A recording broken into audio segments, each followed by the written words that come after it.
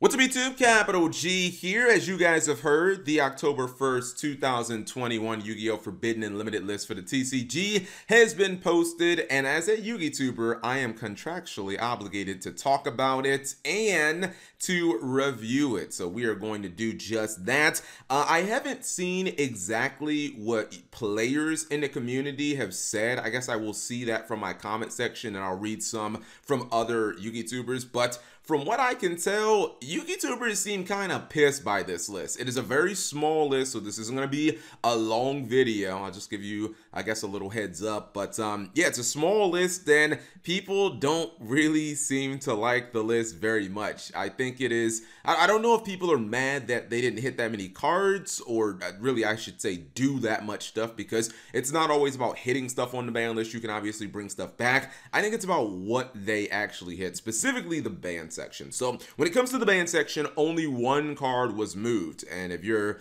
you know, hoping for Imperial Order or Red Eyes Dark Dragoon, unfortunately, uh, yeah, this is not the ban list for you because uh, the only card that was banned was Zoodiac Barrage. And this uh, completes, I guess, the full Big Three circle for Zoodiac, you guys know this card did get banned in the OCG a long time ago, and we never actually got this banned in the TCG. We've come full circle. You can see the Xyz up here. Um, I mean, I guess kind of confirmed Zoodiac strongest archetype of all time. It just it feels just weirdly timed because you know Barrage obviously such a strong card unlocks such a strong archetype, but was this really necessary? Like, I still think the Drident move was like such a, a, weird and bizarre hit, especially above all other things. I personally feel like Imperial Order is just that win button card right now. If you open with that card, good luck to your opponent because you have such an overwhelming advantage. And I don't think you could say that about Drident. So, or excuse me, about Barrage. I mean, definitely a strong card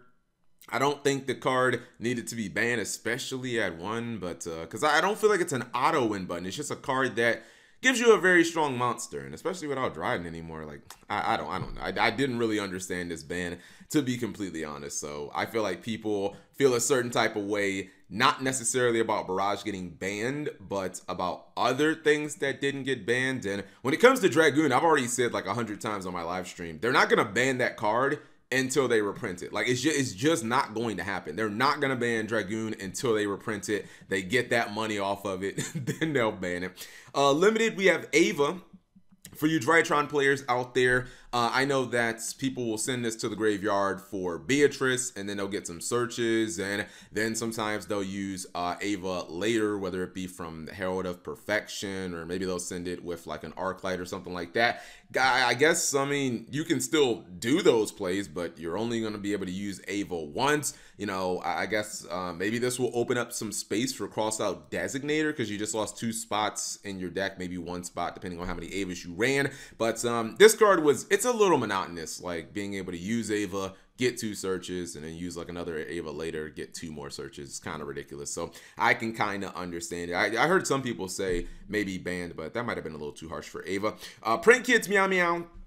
This one was a little surprising for me. This feels like a really harsh hit to this deck because it really feels like the deck needs multiple copies of this card. Obviously, like this is the card that made the deck. Like Prank Kids, what Prank Kids could do before Meow Meow and after Meow Meow, it's like a completely different deck. One card combo instead of having to open with like two cards plus poly and stuff like that. The deck can still do all the things that it did before. It's just not going to have like the follow-ups. You know what I mean? Like one, you're gonna use your your Meow Meow turn one and then after that, it's going to be a little bit more of a struggle. And it's an extra deck hit, so I really don't know what else in the extra deck like Prank Kids couldn't run before that they will run now. I don't, I don't know. So they'll, they'll have to definitely look at stuff, but their turn ones will still be um, incredibly strong. It's just the follow up will be a lot weaker. And, you know, the deck was definitely uh, a competitive and meta deck. Pack won a YCS with it. So shout outs to Pack. Fire Formation Tenki. This is a side effect of what I like to call the Beast Warrior Revolution. Uh, that is when Beast Warrior become the best type in Yu-Gi-Oh? Uh, to my knowledge, it has happened a few times in Yu-Gi-Oh! Go back to Zexal when Bujin and Fire Fist were like, you know, incredibly high tier meta decks. Uh, Tenki got touched then. And then obviously when Zoodiac was just running circles around Yu-Gi-Oh! that happened uh, at that time. And now we have Tri Brigade and also some of the remnants of Zoodiac, although it's pretty much impossible to play Zoodiac now. But yeah, this is um this is one where I think a lot of players are like, okay, this is perfectly fine. Players have been calling for this for quite some time. I think the Barrage and uh, Drident bans were not what players were looking for, but definitely this because uh, when you hit Tenki, you also hit other archetypes. And it's very comparable to something like reinforcements of the army. You know, uh, Rhoda has a bigger pool to work with, but um, you know, Beast Warriors like don't don't sleep on them. They're a very strong type because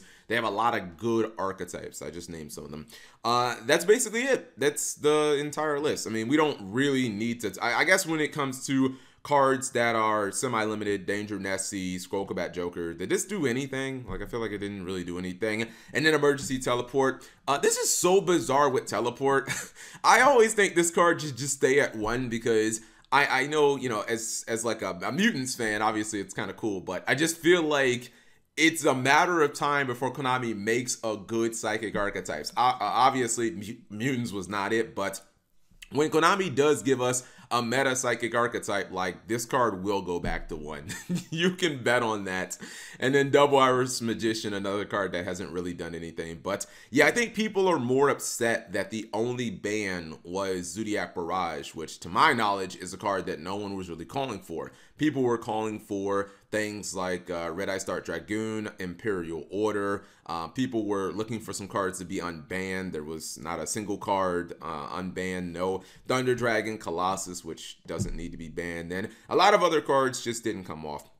Anyways, whatever you guys thought, okay, cool, under seven minutes. Whatever you guys thought, you leave that in the comment section below. Um, I mean, it's just, I guess, kind of like a, a layover list. I, I, I really think they should have hit Imperial Order, to be honest. I, I feel like that card is just nuts right now. But uh, yeah, this is the format we have until the new year.